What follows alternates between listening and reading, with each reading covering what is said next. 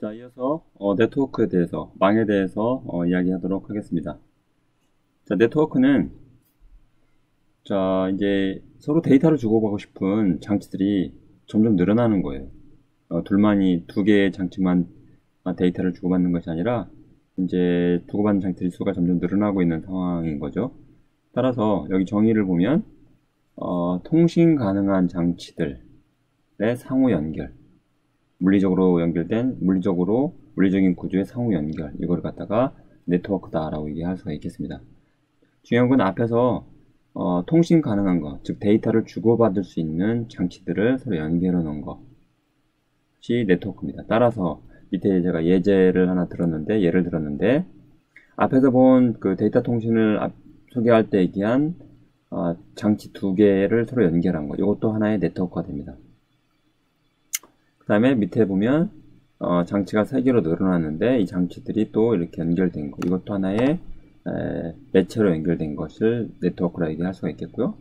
오른쪽에 보면 또 이런 형태도 어, 네트워크라고 할 수가 있겠습니다.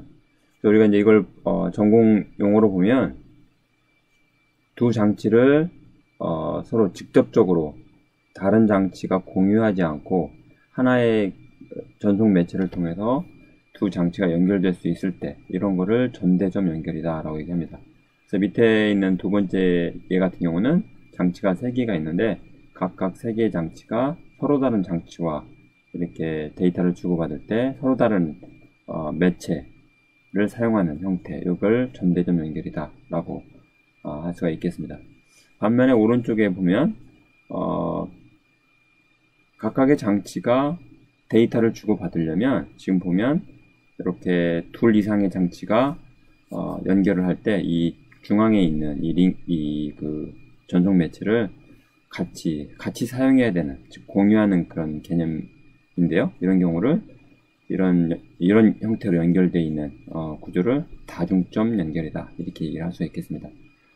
정리를 해보면 오른편에 제가 장치의 개념을 앞에서도 소개한 것처럼 다시 한번 언급을 해놨는데 호스트나 연결 장치 호스트나 연결 장치가 점대점 또는 다중점으로 연결돼서 아, 둘 이상의 장치들이 연결되어 있는 물리적 구조를 네트워크다 라고 얘기할 수가 있겠습니다. 자 그러면 어, 연결해야 될 어, 노드가 점점, 즉, 장치들이 점점 많아져요. 그래서 여기 몇 가지 그 망의 구조들을, 어, 물리적인 터폴로지를, 어, 소개해 놨습니다. 첫 번처럼, 첫 번째 있는 것이, 어, 점대점 연결 기반으로 두 개의 장치를 연결하는 거. 그 다음에 여기 왼편에 있는 요거는 다섯 개의 장치를, 어, 그물망 형태, mesh topology라고 그러는데, 그물망 형태로 모든 장치를 어, 전송 매체로 연결하는 형태도 있을 수 있고요. 중앙에 신호를 재생할 수 있는 repeater 기능을 가지고 있는 허브 허브를 통해서 여러 개의 장치를 연결할 수 있는 구조 또는 링 형태로 어, 장치를 연결할 수 있는 또 있고요. 이때 이 링 구조에서는 중앙에 지금 repeater라고 표시가 되어 있는데 어, 이 repeat, repeater와 repeater는 단방향 일반적으로 하는 얘기입니다. 다, 일반적으로 단방향 점대점 연결 형태로 구성이 되어 있습니다. 신호가 한쪽 방향으로만 전송이 되고 어, 둘 간, 두 repeater 간에만 어, 사용할 수 있기 때문에 점대점 연결 형태로 구성이 된다. 이렇게 얘기할 수 있겠고요. 그 다음에 아, 이거는 버스 형태, 버스 구조 형태로 어, 연결을 연결이 되어 있는 망 구조인데 이때 이 중앙에 있는 이 매체는 각각의 장치들이 공유하는 그런 형태로 되어 있습니다. 따라서 신호가 어, 한쪽에서 데이터가 전송을 하기 위해서는 신호가 만들어지면 신호가 모든 양방향으로 매체의 양방향으로 전송이 돼서 수신을 모두 할 수 있는 그런 형태가 됩니다. 점대점 연결로 되어 있는 어, 네트워크 구조죠. 그 다음에 오른쪽에 보시면 이건 이제 우리가 주로 와이파이를 쓴다. 와이파이를 사용한다라고 했을 때 일반적으로 형태 일반적으로 되는 그런 개념입니다. 노트북에 지금 와이파이를 쓸 수 있는 상황이고 그 어, 노트북이 노트북, 노트북에서 무선 랜 통해 가지고 access point라는 곳을 통해 가지고 인터넷을 사용할 수 있는 이런 형태입니다. 따라서 이런 구조도 여기 그 무선 채널을 갖다 공유하는 다중점 연결이라고 볼 수가 있겠습니다.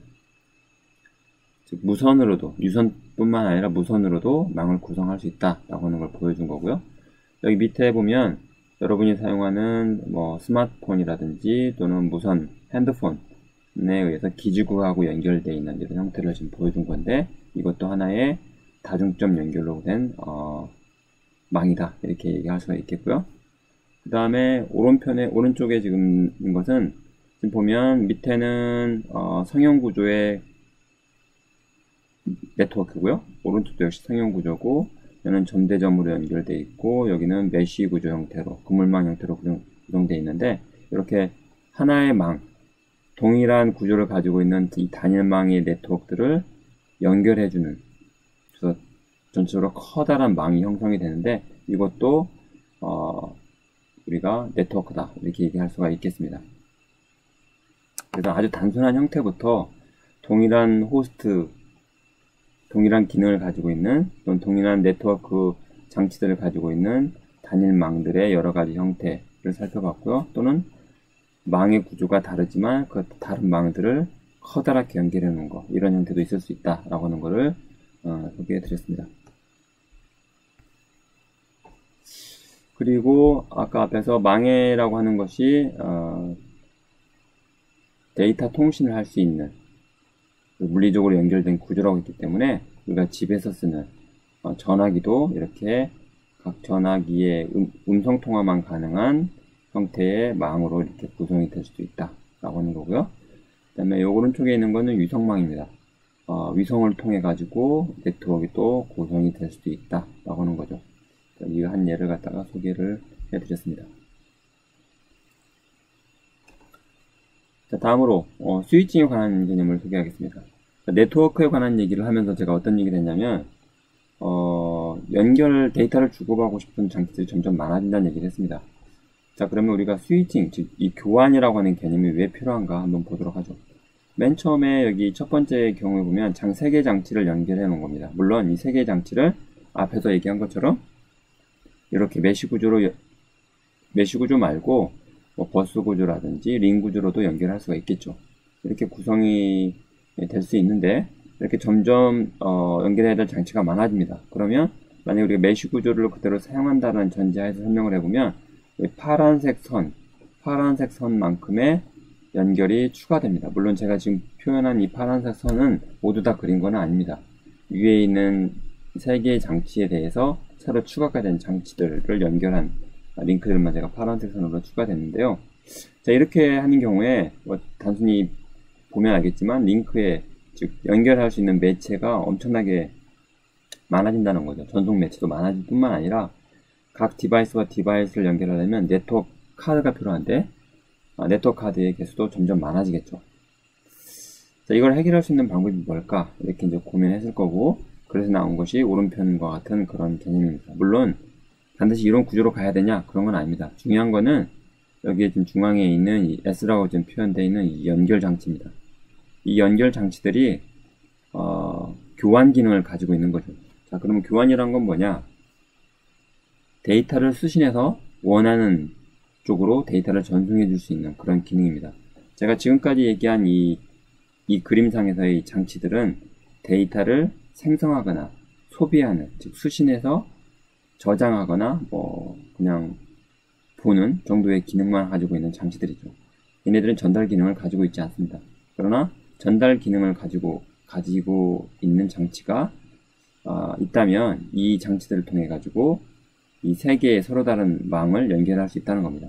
자, 이렇게 되면 어, 전송 매체의 길이도 매체의 연결 개수도 줄어들 뿐만 아니라 어, 망을 좀 더 단순하게 구성을 해서 어, 모든 네트워크를 구성하는 모든 장치를 데이터를 송수신할 수 있는 주고받을 수 있는 그런 게 가능해집니다. 실제로 왼편 같은 경우는 어, 직접적인 연결은 가능하지만 실제적으로 항상 통신을 하고 있는 것이 아니다 그러면 아마 이 전송 매체들의 이용률은 굉장히 낮을 겁니다. 반면에 우리가 적절히 어, 트래픽량을 즉 전송되는 데이터량을 고려해 가지고 링크 전송 매체를 갖다 연결한다 그러면 충분한 통신에 문제가 없으면서 어, 적절한 비용으로 경제성을 갖추는 망을 구성할 수가 있습니다. 따라서 이, 이 교환 교환이라고 하는 개념이 어, 등장하게 되는 그런 배경이 되겠습니다. 자, 그럼 교환이라는 얘기를 했으니 실제 그 교환이라고 하는 기능을 수행하는 장치가 있어야 될 텐데요. 그리고 보통 우리가 스위치, 교환기라고 얘기합니다. 그래서 교환기는 어, 밑에 얘기한 것처럼 어, 스위치에 즉 교환기에 연결된 장치들, 둘 이상의 장치들 간의 임시, 임의의 연결, 임시로 설정될 수 있는 연결을 생성해 줄 수 있는 그런 장치를 교환기라고 합니다. 즉, 어, 둘 이상의 장치에서 데이터가 생성이 돼서 전송이 될 때 그런 데이터들을 수신해서 또 다른 장치로 순간적으로 연결을 설정을 해서 전송을 하거나 아니면 호 설정 과정, 즉 원하는 만큼 원하는 시간만큼 연결을 갖다 계속 유지시켜서 데이터를 교환할 수 있게끔 해주는 장치 이걸 갖다가 교환기라고 얘기할 수가 있겠습니다. 일반적으로 이 동영상에서의 목적에 맞게끔 간단하게 통상 그러면 교환기는 방금 얘기한 내용인데 어, 좀 더 구체적으로 우리가 나눠서 볼수 있는데 그게 스위치라고 하는 layer 2 스위치와 라우터라고 하는 layer 3 스위치를 어, 비교하도록 하겠습니다. 자, 교환 기능을 갖는 교환기가 있는데 교환기는 크게 두 종류가 있다. 물론 다른 다르게 또 추가로 얘기할 수가 있는데 일반적인 관점에서 얘기입니다. 그래서 layer 2 스위치는 뭐냐? 가, 같은 망 내에서 데이터를 전달해 줄 수 있는 연결을 설정해서 전달해 줄 수 있는 그런 어, 장치다. 예를 들면 밑에 그물망이 있는데 오른편에 이 노트북이 있습니다. 만약에 이 노트북을 통해 가지고 어, 아래에 있는 노트북에서 데이터를 이 노트북에 전송을 해주면 이 노트북이 받아서 다음 노트북으로 이렇게 데이터를 전송해 줄 수 있다. 그러면 이, 이 노트북은 어, 교환기 기능을 어, 수행할 수 있게 됩니다. 어, 그리고 어, 동일한 매체, 그 다음에 동일한 프로토콜에 의해 가지고 어, 지금 데이터를 갖다가 주고받는 전달해 줄 수 있다 그러면 이거는 같은 망내이기 때문에 같은 망내에서 데이터를 교환한다 라는 의미로 어, layer 2 스위치다 이렇게 얘기할 수가 있겠고요 두 번째 어, 성형 구조에서도 이 허브라고 하는 장치가 단순히 신호를 재생하는 기능 말고 이 각각의 이 포트 노트북에 연결되어 있는 이 포트 어, 전송 매체 연결된 이 하나의 지점을 포트라고 그러는데 이 포트와 포트 사이를 어, 내가 원하는 방향으로 어, 데이터를 보내줄 수만 있다 그러면 이것도 어, 단일망 내에서 같은 망 어, 하나의 동일하게 수행되는 어, 동일한 전송 매체와 동일한 프로토콜에 의해서 구성된 망에서 어, 교환을 수행하는 장치로서 예, layer 2 스위치다, layer 2 교환기다 라고 얘기할 수 있겠습니다. 반면에 여기 링 구조 같은 경우는 예, 교환 기능이 없습니다. 얘는 신호만 단순히 어, 받아서 다음으로 전송해주는 그런 기능만 가지고 있기 때문에 이렇게 다중점인 구조 형태에서는 교환기를 어, 사용할, 사용하지 않습니다. 다음으로 라우터라고 하는 것은 보통 통상적으로 layer 3 스위치다 라고 얘기합니다. 제가 나중에 이 layer 2와 layer 3에 대한 개념을 얘기 어, 하겠습니다. 그래서 현재는 어, 스위치라고 하는 것은 단일망 내에서 데이터를 받아서 원하는 쪽으로 전송하는 그런 기능을 가지고 있는 장치다 그러면 layer 2 스위치다 이렇게 얘기하, 이해하시면 될 것 같고요. 반면 라우터는 이렇게 지금 그림에 보이는 것처럼 망이 서로 다르죠. 모양도 다르고 거기서 사용하는 매체도 전송 매체도 다를 수 있습니다. 이렇게 각각의 서로 다른 망을 연결해주는 연결 장치가 있어야 될 텐데 그 연결 장치를 라우터라고 하고요. 이때 서로 다른 망을 갖다가 연결해주는 기능이기 때문에 layer 3 스위치다 이렇게 얘기하, 아, 이해하시면 될 것 같습니다.